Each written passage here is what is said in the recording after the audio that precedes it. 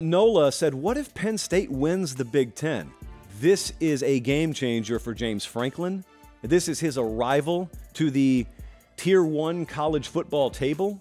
I think that's what it would sound like because I think if Penn State wins the Big Ten, I think they're in the college football playoff. They have a great tandem in the backfield.